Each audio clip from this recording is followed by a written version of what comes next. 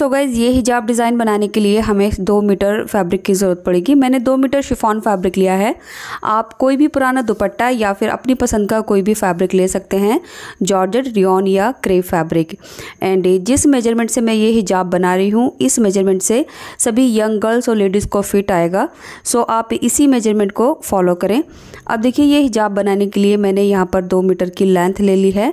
आप लेंथ को थोड़ा सा कम भी कर सकते हैं। अब बात करते हैं हिजाब की चौड़ाई की।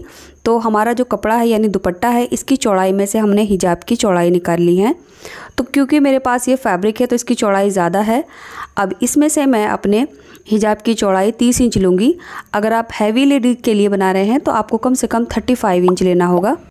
तो तीस से लेकर पैंतीस इंच की चौड़ाई इसकी ले लेंगे। इसके बाद मैं इसको यहाँ से कट कर लूँगी। तो मैंने तीस इंच की चौड़ाई ली है। अब देखिए, ये हमारा हिजाब हो गया है। इसकी जो लंबाई है वो लगभग दो मीटर है और चौड़ाई मैंने इसकी तीस इंच ली है। इस तरह से अब इसको साइड में रखेंगे। इसके बाद जो हमारा बचा हुआ फैब्रिक है, इसमें से सबसे पहले हम अपना नोस पीस निकाल लेंगे। तो नोस पीस की चौड़ाई आप 14 इंच से 15 इंच तक ले सकते हैं। मेरे पास 15 इंच की चौड़ाई बची है तो मैं पूरी 15 इंच ले रही हूँ। इसके बाद हम जितनी चौड़ाई आई है, उतनी ही लेंथ ले लेंगे। तो 15 इंच को मैं इस यहाँ से ले लूँगी। इसके बाद मैं इस पंद्रह इंच को इस तरह से डबल फोल्ड कर लूँगी और यहाँ से कट कर लूँगी। कट करने के बाद अब मैं इसको डबल फोल्ड कर लूँगी, इस तरह से। इसके बाद एक बार और फोल्ड कर लूँगी तो ये हमारा फोर फोल्ड हो जाएगा। तो इसको एक बार हमने लंबाई में और फोल्ड करना है। अब देखिए, ये वाली साइड जो है, ये फोल्डेड साइड है और ये हमारी खुली साइड है, जहाँ चार लेयर हैं। अब फोल्ड वाली साइड से खुली तरफ़ को हमने इस तरह से कर्व शेप में एक मार्क करना है और इस मार्क पर अब कट कर लेना है। तो इसको मैंने कम से कम ढाई इंच के क्रॉस पर कर्व दिया है। कट करने के बाद देखिए ऊपर की जो हमारी दो लेयर हैं, ये वाली, इनको पकड़ के हमने ऊपर की तरफ़ पुश करना है और नीचे से ऊपर का जो गैप रहेगा वो मैंने चार इंच लिया है, यानी ऊपर का जो नोस पीस है वो चार इंच छोटा रहेगा। अब यहाँ पर हम नॉचेज़ लगा लेंगे। इसके बाद मैं इसको ओपन कर लेती हूँ। अब जहाँ पर हमने नॉचेस लगाए थे, मैं यहाँ पर मार्क कर रही हूँ ताकि हमें याद रहे। यहीं से हमने फ़ोल्ड करना होगा। इसके बाद देखिए, यहाँ पर मैंने दो स्ट्रिप्स ली हैं जो हम नोज़ पीस में टाई करने के लिए लगाएँगे। तो इन दोनों की जो चौड़ाई है, वो हमने दो इंच ले ली है। दोनों की चौड़ाई हमने दो इंच ली है और लंबाई हम कम से कम इसकी बीस इंच ले लेंगे। तो दोनों की लंबाई भी बराबर रहेगी। अब इन दोनों स्ट्रिप्स को हम इस तरह से फ़ोल्ड करेंगे और दो साइड में एक सिलाई लगा लेंगे। एक तरफ़ से हम इसको खुला रखेंगे, जहाँ से इसको हमने टर्न करना है सीधी तरफ़। इसके बाद हमने नोज़ पीस को चारों तरफ़ से क्वार्टर इंच डबल फोल्ड करते हुए एक सिलाई लगानी है। तो ये सिलाई को हम थोड़ा बारीक करके लगाएँगे, यानी हल्का हल्का फोल्ड करके चारों तरफ़ से इसको फोल्ड कर लेना है और सिलाई लगा देनी है। इसके बाद अब हमने देखिए ये अपना हिजाब वाला पीस लेना है। इसको हम चारों तरफ़ से फ़ोल्ड करेंगे। तो इसको भी हमने ज़्यादा मोटा फ़ोल्ड नहीं करना, बारीक करके फ़ोल्ड करके चारों तरफ़ से हमने एक सिलाई लगा देनी है। तो इस तरह से हम इसको हैम कर देंगे। अब देखिए, हमने हिजाब के लिए जो फोरहेड पट्टी लेनी है, यानी ये हमारी माथा पट्टी होगी। इसकी चौड़ाई मैंने सेवन इंच ली है और इसकी जो लंबाई है वो मैंने थर्टी फाइव इंच ली है। तो देखिए, ये हमारी पैंतीस इंच की लंबाई है और चौड़ाई हमने इसकी सात इंच ली है। अब इस फोरहेड पट्टी को भी हम बीच में से फोल्ड करेंगे और यहाँ से जितनी भी खुली साइड है, इसमें एक सिलाई लगाएँगे और थोड़ा सा पार्ट हम छोड़ देंगे। यहाँ तक हमने नहीं सिलना है, यहीं से हम इसको बाहर की तरफ़ टर्न करेंगे। तो देखिए, हमने हिजाब वाला जो अपना पीस है तो ये हमारा हिजाब है। इसको मैंने चारों तरफ़ से क्वार्टर इंच डबल फोल्ड करके एक सिलाई लगा ली है। इसके बाद हमने फोरहेड पट्टी को भी सिल लिया है। तो यहाँ पर मैंने इसको तीनों तरफ़ से सिल दिया है और थोड़ा सा यहाँ ओपन रखा है। यहीं से अब हमने इसको इस तरह से बाहर की तरफ़ टर्न कर लेना है। टर्न करने के बाद हमने जो इसके कॉर्नर हैं, चारों कॉर्नर को अच्छे से बाहर की तरफ़ निकाल लेना है। तो ये बड़ी आसानी के साथ सीधी तरफ़ टर्न हो जाएगा। अब बस कॉर्नर को बाहर निकाल लेंगे। तो लीजिए ये सेट हो गया है। अब फोरहेड पट्टी को हमने अपने हिजाब के साथ जॉइन करना है। तो उससे पहले यहाँ पर हमने एक सिलाई लगा लेनी होगी।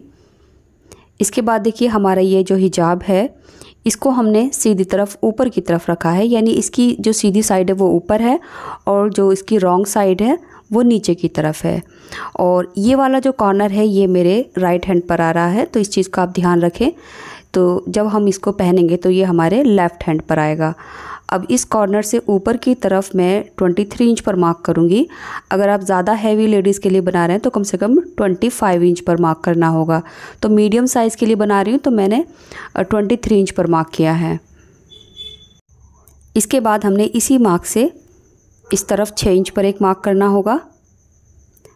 एंड छः इंच पर हमने इस तरफ़ करना होगा। तो सेंटर से हमने छः इंच इधर किया और छः इंच इधर किया। जो हो गया टोटल हमारा बारह इंच तो बारह इंच पर हमारा ये जो फोरहेड पट्टी है जॉइंट होगी। अब फोरहेड पट्टी का भी सेंटर निकाल लेंगे इस तरह से। इसके बाद जो हमारा ये सेंटर है, ये वाला, इन दोनों को आपस में एक दूसरे के सामने रखेंगे, इस तरह से। तो पट्टी को पहले सेट कर लेंगे। सेंटर के सामने सेंटर रखते हुए, थोड़ा सा एक दूसरे के ऊपर चढ़ाते हुए, यहाँ रखेंगे और सिंपली एक सिलाई लगा देनी है।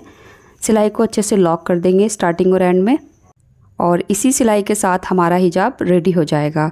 इसके बाद अब हमने अपना नोज़ पीस लेना है। सो नोज़ पीस को देखिए, मैंने चारों तरफ़ से क्वार्टर इंच डबल फोल्ड कर लिया है। अभी हमने आयरन नहीं की है और ये हमारी स्ट्रिप्स हैं जिसको मैंने सिल लिया है। अब इसका जो एक सिरा है वो मैंने खुला रखा है बंद वाली साइड से बाहर की तरफ़। किसी भी नोकीली चीज़ से इसको बाहर की तरफ़ हमने सीधा कर लेना है। इस तरह से सीधा करने के बाद अब हमने इन पट्टियों को यानी जो स्ट्रिप्स है इनको अपने नोज़ पीस के साथ अटैच करना है। सो so, यहाँ पर हमने जो कटिंग के टाइम मार्किंग की थी ये वाली इसको और मैं डार्क करके दिखा रही हूँ। अब यहीं से हमने दोनों पॉइंट को इस तरह से पकड़ना है इस तरह से। और अब हमने जो स्ट्रिप्स रेडी की हैं वो हमने इसके साथ सिलना है। तो स्ट्रिप की जो हमारी खुली साइड है ये वाली इसको हमने यहाँ इसके अंदर नोस पीस के यहाँ रख कर एक सिलाई लगा लेनी है। और इसी तरह से ये वाली स्ट्रिप को इसके अंदर रखेंगे और यहाँ पर सिलाई लगा लेंगे। सिलाई को हमने तीन से चार बार अच्छे से लॉक कर लेना है दोनों साइड में। तो देखिए, हमारा ये हिजाब भी रेडी हो गया है। फोरहेड पट्टी को हमने हिजाब के साथ सिल दिया है यहाँ से। तो इस तरह से ये हमारा जो हिजाब है, वो बिल्कुल सिल चुका है। एंड इसी के साथ जो हमारा नोज़ पीस था, उसमें भी हमने ये स्ट्रिप्स लगा ली हैं दोनों साइड में। सो बहुत ही आसान, आसानी के साथ ही हमारा रेडी हो गया और इसमें कोई जॉइंट भी नहीं लगाया हमने। अब चलिए देख लेते हैं इसको पहनना कैसे है। सो मैं डमी पर पहना कर दिखा रही हूँ। तो पहनने से पहले हमने कोई भी इनर हिजाब कैप पहन लेना है। इस कैप की वीडियो मैं अपने चैनल पर पोस्ट कर चुकी हूँ। लिंक आपको पिन कमेंट डिस्क्रिप्शन बॉक्स और एंड स्क्रीन पर मिल जाएगा, जहाँ से आप ये कैप की वीडियो देख सकते हैं। इसके बाद देखिए, हमने सबसे पहले अपना नोज़ पीस ले लेना है। नोज़ पीस की ये जो साइड रहेगी, ये सीधी तरफ़ रहेगी, यानी इस तरह से ये राइट साइड बाहर की तरफ़ आएगी। इसके बाद हमने जो स्ट्रिप्स हैं, वो पीछे की तरफ़ ले जाते हुए टाई कर लेनी है। सो यहाँ लाकर हमने दोनों पट्टियों को बाँध लेना है। इस तरह से नोज़ पीस पहनने के बाद अब हमने अपना हिजाब लेना है। तो देखिए, जो हिजाब है, इसका जो हमने फोरहेड पट्टी लगाई थी, ये ऊपर माथे की तरफ़ आएगी और बड़ी वाली साइड जो है, वो हमारी राइट हैंड पर आएगी और जो छोटी वाली साइड है, वो लेफ़्ट हैंड पर आएगी। और अब हमने इसकी सीधी साइड ऊपर रखनी है, रॉन्ग साइड अंदर की तरफ़। और फोरहेड पट्टी को माथे के ऊपर कवर करते हुए ये पट्टी के जो साइड्स हैं, ये पीछे की तरफ़ लेकर जाएँगे। और इसको अब हमने यहाँ पीछे की तरफ़ टाई कर लेना है, जहाँ हमारी चोटी वाला एरिया होता है। यहाँ पर हमने इसको बाँध लेना है। सो इस तरह से आप देख सकते हैं, मैंने हिजाब की ये पट्टी यहाँ लाकर बांधी है। सो जस्ट चोटी के नीचे इसको बाँध लेना है इस तरह से। इसकी फ़िटिंग बिल्कुल अच्छे से आएगी। अब देखिए, ये छोटा वाला जो पीस है, ये हमारे लेफ़्ट हैंड पर आएगा। सो इसको आप इस तरह से भी छोड़ सकते हैं या फिर इसको आप नोज़ पीस के नीचे के अंदर इस तरह से कवर करते हुए यहाँ लाकर फोरहेड पीस के अंदर भी कर सकते हैं या फिर एक पिन के साथ इसको टक कर सकते हैं। सो मैं पिन लगाकर बता रही हूँ अदरवाइज़ पिन लगाने की कोई ज़रूरत नहीं है। जो हमारी माथा पट्टी है, उसके अंदर भी आप इसको सेट कर सकते हैं आसानी के साथ ये उसमें टक हो जाएगा। अब बड़ा वाला जो हमारा एरिया है, ये वाला इसको भी हमने नोज़ पीस के नीचे से लेना है। और अब इसको यहाँ लाते हुए हमने सर के ऊपर लाना है और यहाँ से हमने इसको अच्छे से सेट कर लेना है। तो अब इसको हम यहाँ से सेट कर लेंगे और मैं एक पिन लगा लूँगी। और आप चाहें तो पिन भी लगा सकते हैं या फिर इसको इसी तरह से भी रख सकते हैं, आप देख सकते हैं। तो मैं पिन लगा कर बता रही हूँ, जब हम यहाँ पिन लगा लेंगे तो ऊपर से भी देख सकते हैं आप, बिल्कुल फिटेड हो गया है। सो गाइज़ उम्मीद करती हूँ आपको ये वीडियो पसंद आई है। वीडियो पसंद आई है तो लाइक करके चैनल को सब्सक्राइब ज़रूर कर लें और हिजाब कैप का जो हमारा ट्यूटोरियल है, उसका लिंक आपको यहाँ दिख रहा है। इसको डायरेक्ट क्लिक करके आप इसका वीडियो देख सकते हैं।